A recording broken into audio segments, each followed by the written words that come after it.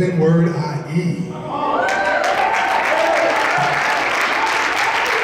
I see what God has done, but I know all about the IE. But look what the Lord has done.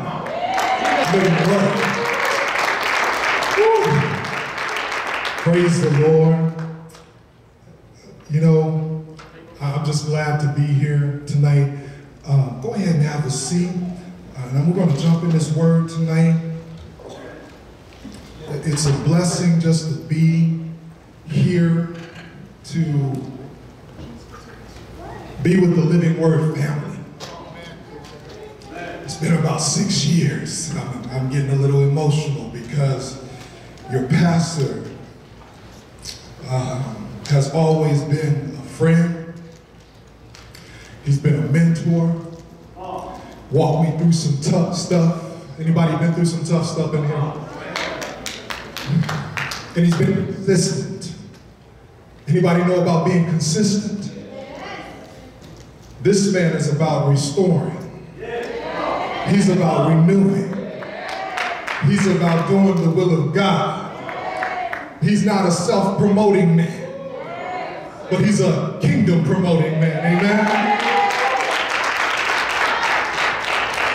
And so when my brother Art and I connected, uh, and we've been in contact throughout the years, and he hooked me and Pastor Reggie up, and Pastor Sonia greeted me and my wife like we never left, and just opened their arms up to us. God bless you, Pastor Sonia. So I'm just grateful to be with the Living Word family tonight. I'm about to hit this word hard, and, and I'm speaking to a church that will understand this. Uh, the Lord knows what he's doing. In Psalms 133, I'm going to keep it simple, but you'll get it. In Psalms 133, the scripture says, Behold how good and pleasant it is when brothers dwell in unity. It is like the precious oil on the head, that oil you've been talking about there, Pastor Reggie. It's like the precious oil on the head running down on the beard, on the beard of Aaron, running down on the collar of his robe. It is like the dew of Hermon which falls on the mountains of Zion. For the Lord has commanded the blessing, life forevermore. I want to speak to you tonight about the power of the unified church. The power of the unified church. Let's pray. Father, I just thank you for the opportunity to be used as your vessel, oh God, to pour out tonight for your people. And Lord God, I ask you to just let your spirit flow tonight. Let it flow through me. Let your word flow to your people, oh God. Let your people leave, leave here tonight filled up and equipped and encouraged, oh God, to continue the work that you have set before them. And Father, to even see it grow in a greater way. I thank you for Pastor Reggie and Pastor Sonia and the body of believers here at Living Word Inland Empire, Father. And Lord, we're just praying, Lord, that you will move powerfully through your word tonight. In Jesus' name, amen. If we look about our country, one of the things that we see happening more and more is division. Division on every level. Division in the politics, division in, in the races, division uh, all the way down to our cities division in our homes. We see division in the marriages, division in families. Hallelujah. Thank you, brother division in families, children rebelling against their parents and then when Paul is writing Timothy, he tells us that this time will come in the last days. Amen? But God has called his church. He's called his church to show a difference in this world that we live in today. He's called us to be different than this world that we live in today. Too many of us are trying to fit in and look like everybody else, but God didn't call you to look like everybody else. He called you out like a light that sitteth on the side of a hill and gives light to the whole city. Amen. That's what he did. He called you out. Someone say, He called me out.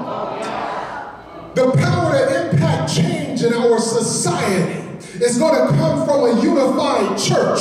Stop looking for it from the government. Stop looking for it from all these secular philosophers who have their get rich quick schemes and we can make life better for you schemes. It's going to come through you and I. It's the church that will make a difference. It's the church that will turn this thing around. Amen? Too many in the church are waiting for the government to do something for them. You work under another government. You work under the kingdom government. And the Lord our God, his name is Yahweh. He reigns above all. He takes care of his own. Amen, somebody. So, so, so we're ushering in another government. But how are we going to do this? How are we going to do this? It starts with us. It starts with you and I individually. Look at your neighbor and say, it starts with you. Tell them you're responsible you're responsible.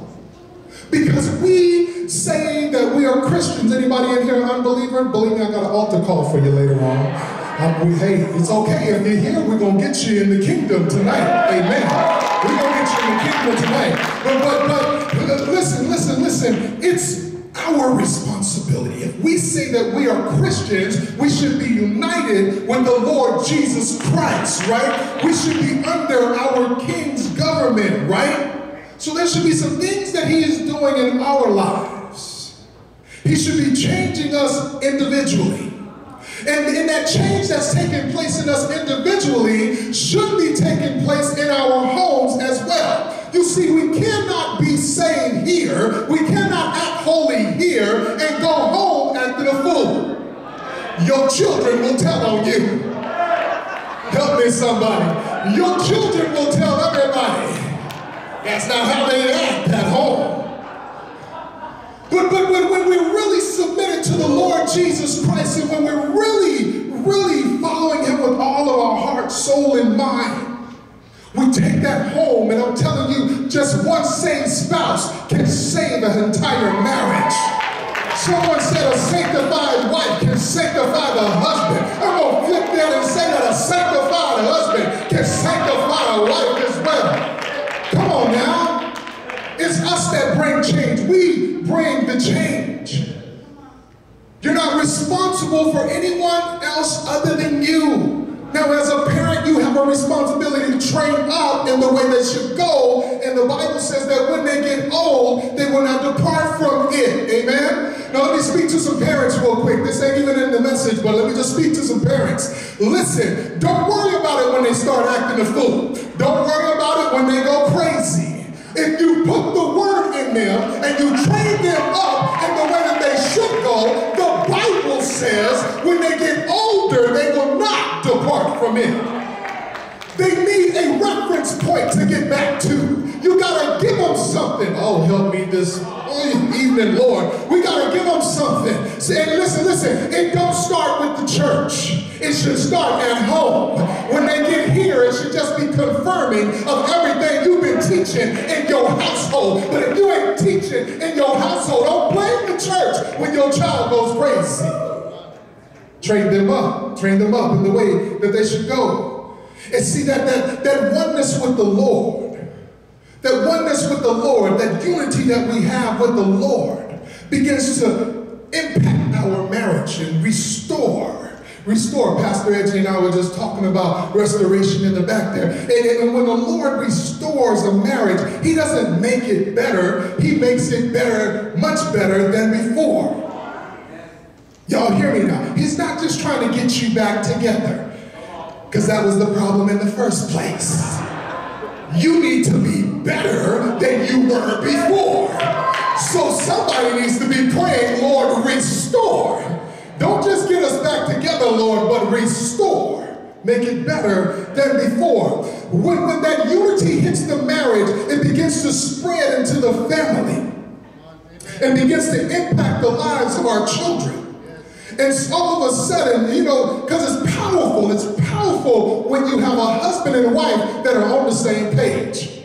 It's powerful when you have a husband and wife who see the same thing, who are serving the same Lord, and, and believe the same way. It's powerful. It's powerful. For those of you that are single, don't get with nobody that don't have no vision.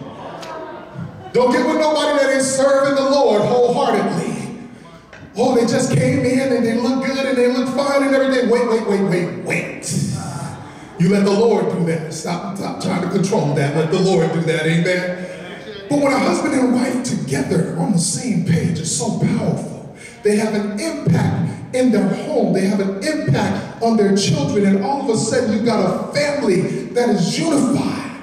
We were out to dinner with, with Pastor Reggie and Pastor Sonia, and, and they were talking about their daughter, and she was just a baby when we, you know, well, she was six, but she was still a baby to us. And, and now she's doing worship for children's ministry and things. She's being trained up in the way that she should go. Amen. The, the, the spirit that is in them is impacting their home. We want to impact our home.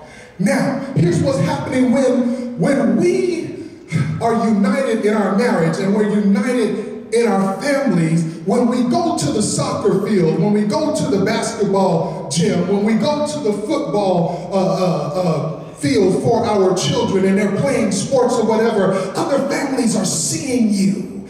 They're watching you and they're wondering how do you have such a good family and you get to tell them about Jesus. Somebody shout Jesus. Because I wouldn't even have a family right now if it wasn't for Jesus. I've been married to this woman for 28 years and I thank Jesus because when I got to Jesus, she was getting ready to divorce me. But when I got to Jesus, he restored my marriage, made it better than what it was before.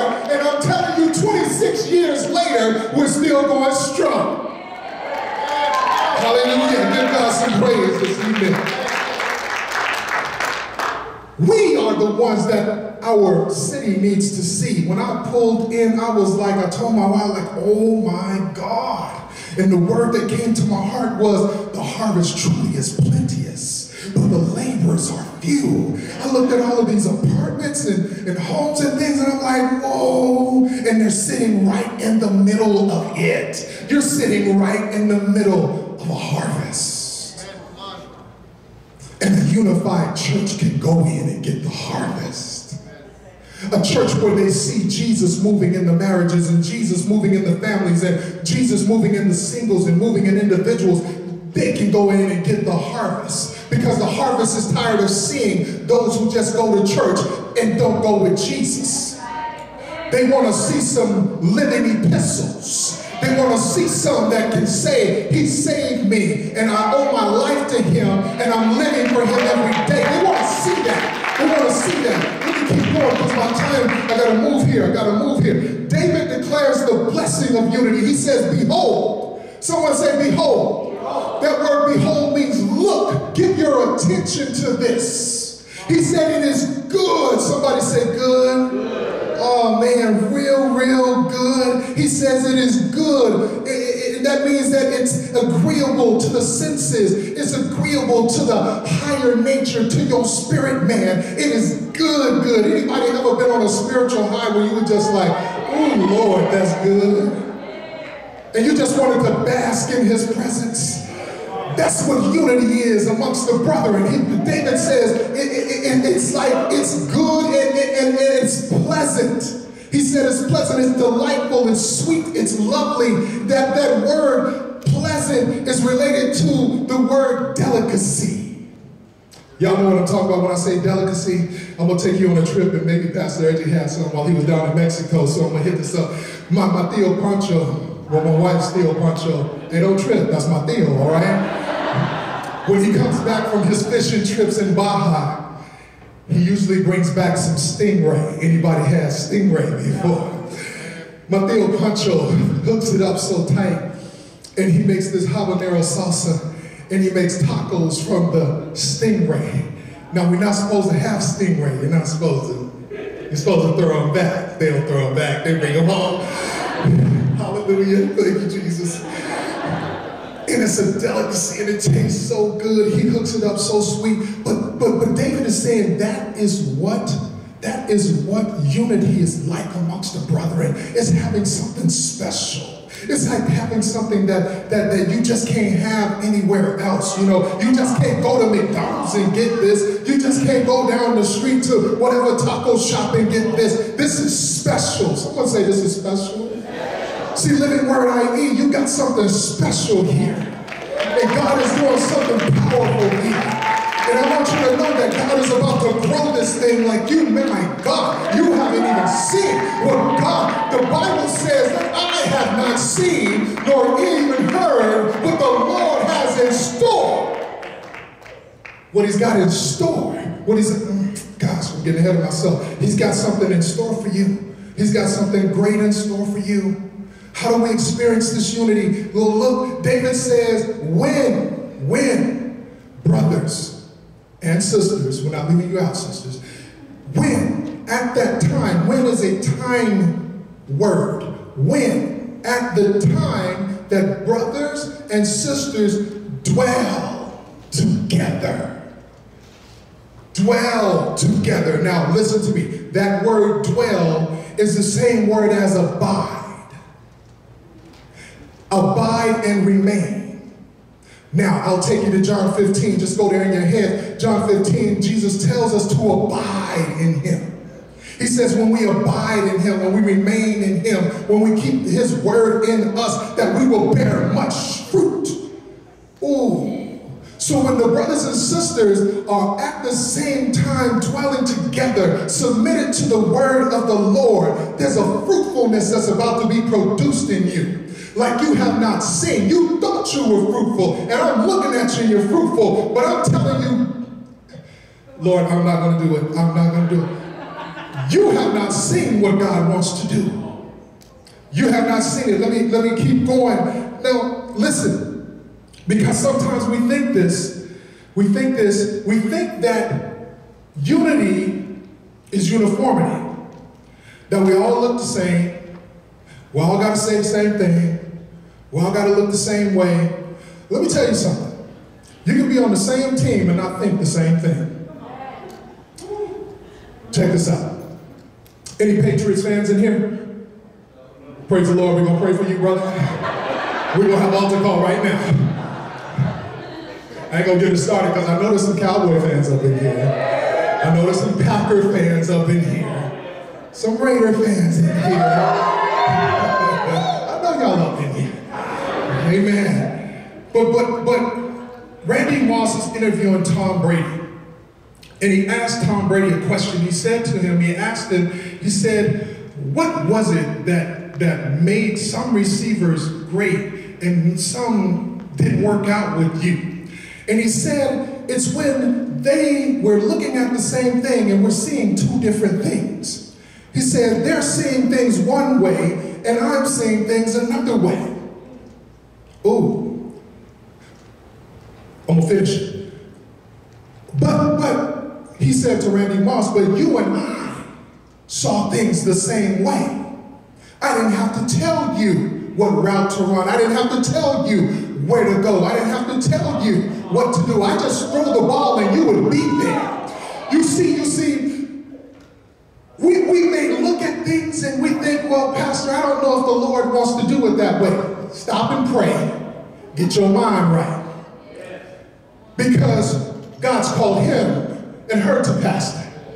And there's been a vision casted for this ministry, for this work that God is doing here in the IE. And so you need to see what he sees.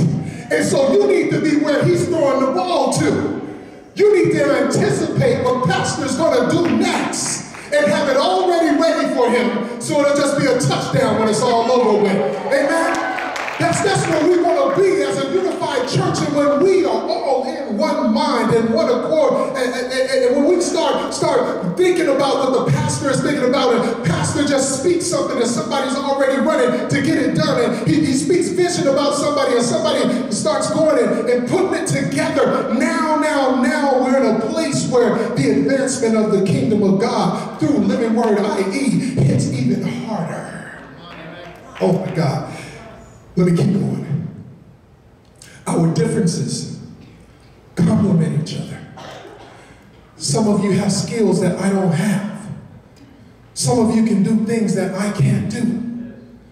God did not make us the same. He said we are beautifully and wonderfully or uniquely made. But just like a puzzle, all of our uniqueness fits together when we come together in unity and it makes a beautiful picture for the world to see. I want to keep going because I'll get to that in a minute. As our place in Christ, as we place ourselves in Christ by trusting in Him for our deliverance and our salvation, the Bible says this in Galatians 3 and 28. He says, There is neither Jew nor Greek, huh, no slave, no free, no male, no female, but all are one in Christ Jesus. Someone say, We are one in Christ Jesus. That was weak. Come on, say, We are one in Christ Jesus. That's what I like, man. I like that over there. That's what I'm talking about. Bring that bass. We are one in Christ Jesus. And as a body of believers, there's nothing that we can't do when we are one. And I want to talk to you about that a little bit here because this is where, where, where David says in verse 2, he says that it is like the fine oil on the head. Uh-oh. The fine oil on the head running down on the beard. Here we go. Here we go, that oil, that oil. In, in, in the Middle Eastern culture, when someone visited your home, they would have their feet washed. The one who was visiting would get their feet washed and they would get fine oil to place on their face. And it would cause their skin to radiate. This beauty about them. They look good, like some good lotion. You know what I'm talking about? And, and, not only did it make them look good, it had the fragrances of the frankincense and the myrrh that the pastor been teaching you about up in the oil. And so you not only look good, but you smell good. Y'all don't hear me. So there was a sweet aroma in the room when you were there. And so, so when the anointing, when the when when the when the church is united, there is an anointing on us just like the oil. It not only makes us look good, it makes us smell good. That means that our personality is the right personality. The spirit about us is the right spirit about us. We got a good spirit, not that old spirit that we used to have, right? Right? How many of y'all like folks walking up in your house with a funky attitude? You want to just tell them you can go now, right? But let's just start this prayer meeting right now. Because you need some prayer. or I'm going to need some myself, right? But the oil, the oil changed the way they look, changed the way they smell. Now, for the priest, this was even different. It was even more valuable. He says, he says in the scripture, running down Aaron's beard onto his robe. The, the priest, when Aaron is anointed high priest, the Lord tells tells Moses to set him aside in Exodus 30 and 30. And he says, set Aaron and his sons aside for the work for which I've called them to. And he says, you're going to anoint them with the oil. You're going to consecrate them with the oil. And, and that oil was a special oil made by the perfumers. Your pastor's already broken it down. I don't need to go into all of that. But, but that oil was what was poured over their head. And it ran down Aaron's beard, and the Bible says it ran down onto his robe. It, it, it, was representing the anointing of the Holy Spirit in his life, consecrating him and his sons, setting him and his sons apart for the work of the Lord. Listen, listen, listen, church. The oil is flowing over the church now. You've been set aside for the work of the Lord. You can't, you can't allow yourself let yourself be used for what the Lord has for you. Don't, don't, don't limit yourself to do what the world wants to do with you, but give yourself wholeheartedly to what the Lord would do in you and through you. Amen. Hallelujah. He says it's like the dew, the light rain, the drizzle that would happen at night. So y'all get that up here in the IE. We don't get that in the desert. We get dew maybe two months out of the year, January, February, it's over. It's over because in March it's heating up and it's like, forget it. Ain't nothing staying till the morning. But that drizzle would land on Mount Hermon. Mount Hermon is a mountain that sat north of the Sea of Galilee, and, and it would get the snow caps. And when the snow would melt, the rivers would run off of the mountain down into the Sea of Galilee, and it was what fed the Sea of Galilee and kept it filled with fresh water, fish. Amen. So, so that was important to the life of the people. It's important to the life of the people. He says that dew, he says the dew of Hermon falling on the mountains of Zion. Falling on the mountains of Zion. Now, wait a minute, he switched regions because Zion is in Jerusalem. Okay? They are miles away from each other. But the same way the dew fell on Mount Hermon, the spiritual dew was on Mount Zion. The blessing of God, the Spirit of God, it was the mount that he ruled from. He ruled there from, from, from Jerusalem in the temple with the people uh, of Jerusalem. He ruled the nation of Israel from there. And so there was a powerful anointing on the Mount of Zion, on Jerusalem. Amen. And, and so we are set aside when we are unified. It's the same way that oil flows from us down us, that dew is all over us, bringing life. The dew brought life to the people, and it represents abundance and prosperity. Now, I'm not a prosperity gospel preacher, but this I do believe in because we're going through it right now. See, when you give unto the Lord and you give your life unto the Lord, right now my wife is not working at all. Doctor won't let her go back. She's been fighting trying to get back for months now. It's been a minute, out of disability and all of that. But check this out. The Lord has been allowing me to continue to work, and He's been blessing me in my work so we can take care of all the bills and everything without her working. And it's like, okay, Lord, we dipped. We dipped into the minus a couple times over the last three months. And, and she's like, baby, do you want to cut back on the, on the I'm telling you, baby, I'm sorry, I'm sorry. She said, baby, do we need to cut back because you know I'm working and you know we give at this level? Do we want to cut back? I'm like, no, baby, we ain't cutting back because I believe the Lord is going to bring us right back to where we were when we were working. And, and, and just a few weeks later, just a few weeks later, my review came. And my boss says, my boss says, we're going to give you the full 3%. Now, some of y'all said 3%, that ain't a lot, Pastor. I'm telling you it ain't a lot. But 3%, I'll take it, I'll take it. It was going to make up. But she said, we're going to add another four on top of that. Seven percent, seven, God's perfect number. So God was going, and, and, and the increase covers the bills completely. In the same time, my wife has been very frugal. She's been like, you know, shopping like it ain't on sale. you gotta use some wisdom in this thing, y'all. Oh man, let me finish this up. How do we maintain this unity, this togetherness?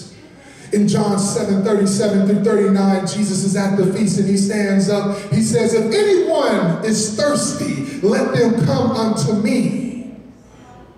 If you're thirsty, let them come unto me. And watch this out of his belly will flow rivers of living water.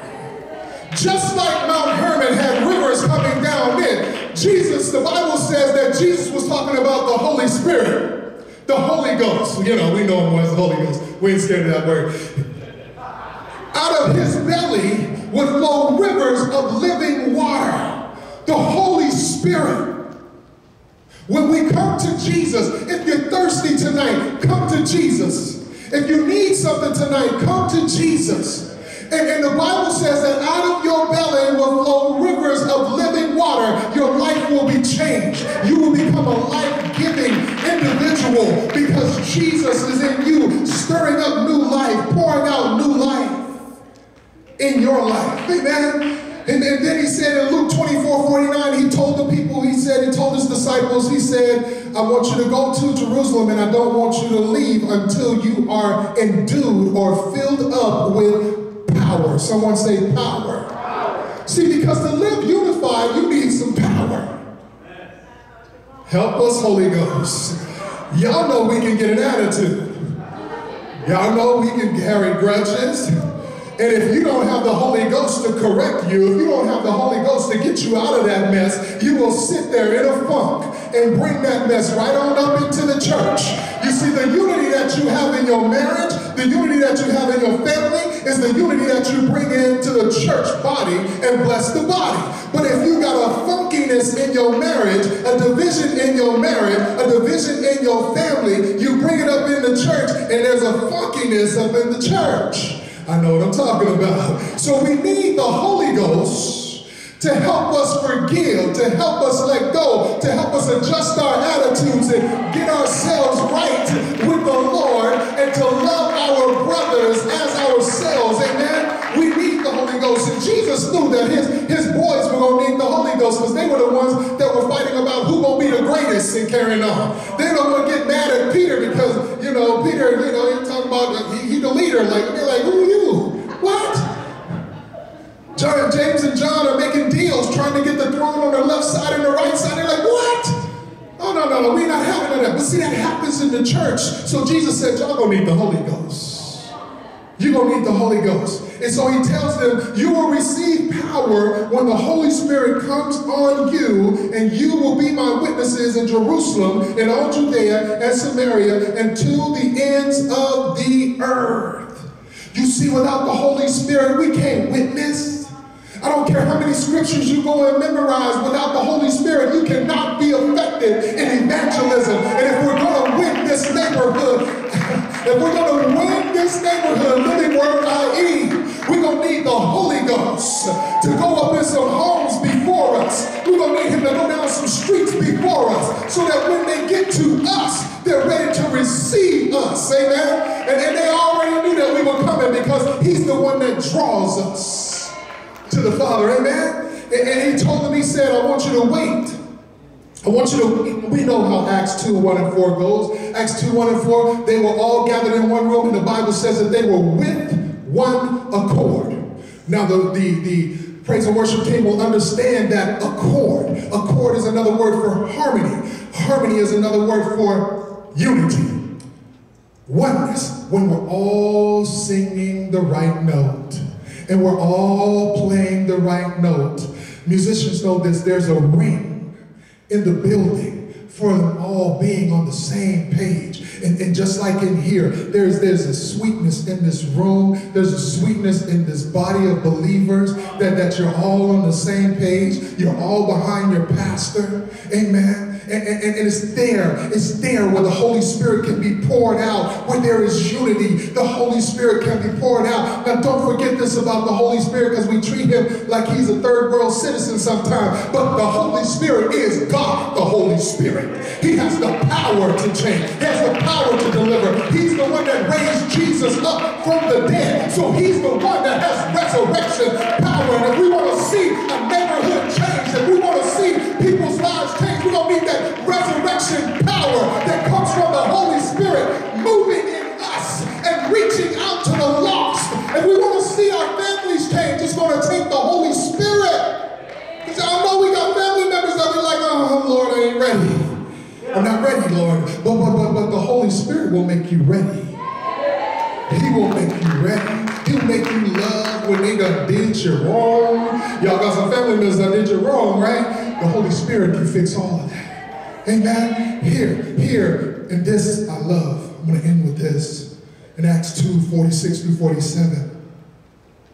They were all, in Acts 2, we hear that they all were filled with the Holy Spirit, not just the 11, but the 120. See, sometimes we think the Holy Spirit is just for the pastors. Hello. When the Holy Spirit's for everybody. The 120 were filled with the Holy Spirit, and the Bible said they spoke with other tongues or other languages that they did not know, and the others heard them as if they were giving praises to God in their own languages. Amen. But this part, and I want to end here.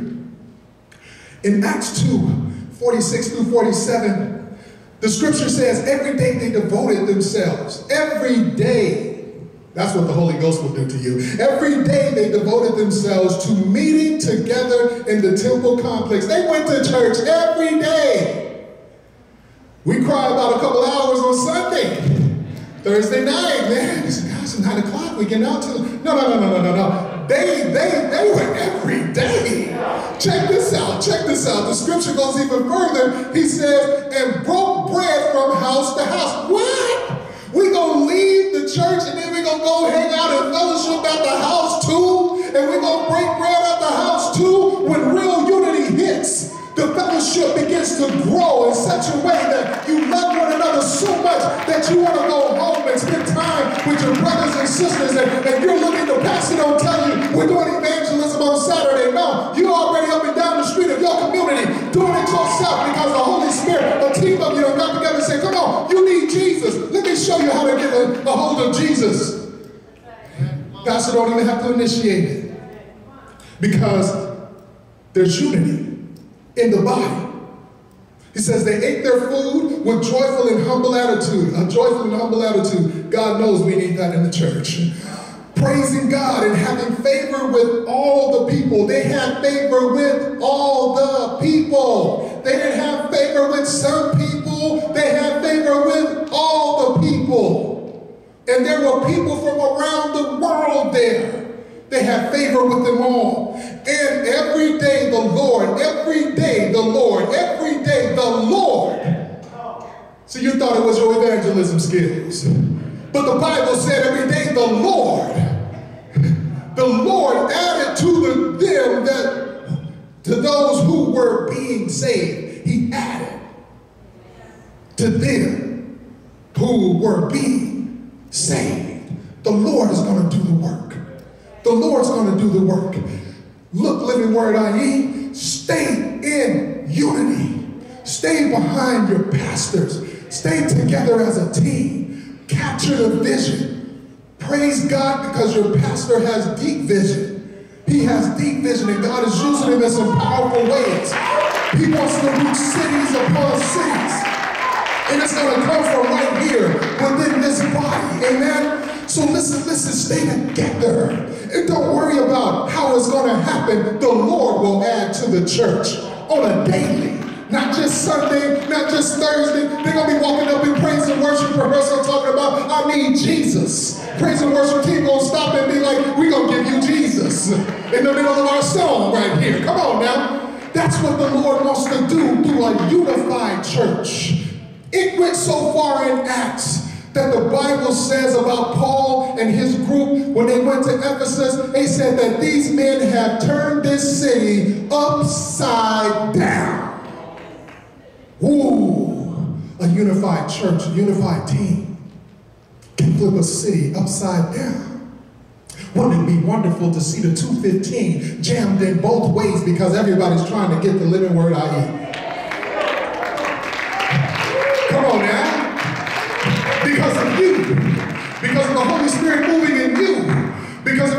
Oneness with our Lord Jesus and oneness with the body. Amen. How do we do it? We got to be one with Jesus first. First and foremost. He has to be Lord of our lives.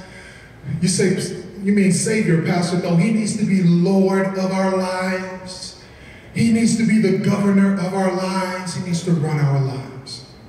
So if you're here tonight and Jesus is not the Lord of your life, listen, it was him that came and showed us how to live a life that was submitted to the Father. It was him that came and died upon the cross for all of our sins, past, present, and the ones you're going to make tomorrow. It was him that did that. It was him that was raised up on the third day so that you could have a new life a new life. That's resurrection life. That was Jesus that did that. And the Bible tells us that he's sitting at the right hand of the Father, praying for us even now. If you are here and you don't know this wonderful Lord and Savior, I want to encourage you to stand and come, come because there's no greater decision that you can make than giving your life to Jesus. Anyone.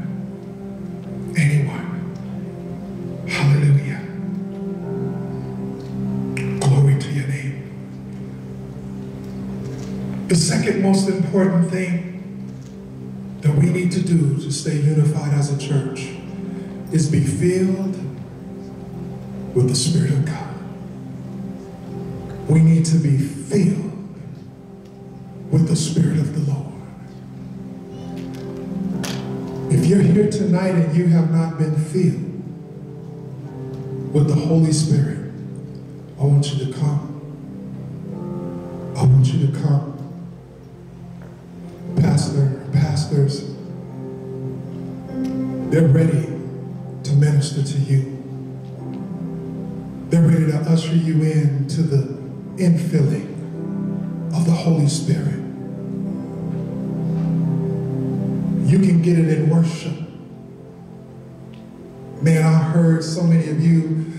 Worshiping in tongues up in here tonight. Whew. Now, what you do with that power is you take it out and you impact the city. We don't just get filled up for ourselves to say, I'm filled with the Holy Ghost. We go so that we can speak boldly the gospel of Jesus Christ. We get filled up so that the gifts of the Holy Spirit can move through us and minister to those in need. We get filled up with the Holy Spirit so that his fruit will show up. That love, that joy, that peace, that kindness, that gentleness, that self-control that you need to show up in the workplace. How many of you needed to show up in the workplace? Come on. Because that is your mission field. And the Lord is sending you. You need it tonight? Come. Come. Hallelujah. Thank you, Jesus. If you just need prayer,